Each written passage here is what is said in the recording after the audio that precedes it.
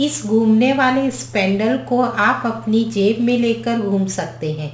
ये बहुत किफ़ायती है। इसके लिए एक आइसक्रीम की लकड़ी और थोड़ा धागा दरकार होगा।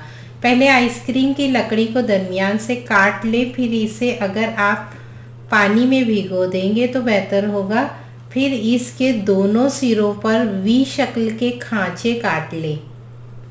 एक ऊपर और एक नीचे। इसके साथ साथ दो धागे के लूप दरकार होंगे, लगभग पचास सम लंबे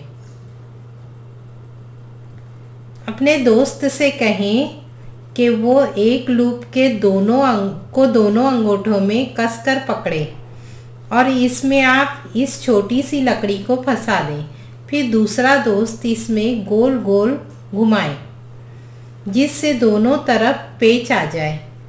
फिर दूसरे लूप को डंडी में फंसा दें और थोड़ा सा ढील देने पर पहला लूप अपने आप दूसरे लूप को खींच लेगा। इसके बाद बस थोड़ा ढील दें, खींचे, ढील दें, खींचे और ये स्पेंडल गोल गोल घूमेगी। इसमें जो नमूने हैं, इन्हें भी आप चाहें तो बदल सकते हैं।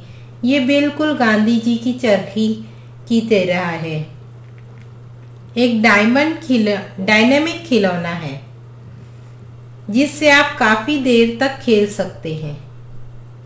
देखिए ये लोग कितने मज़े से खेल रहे हैं।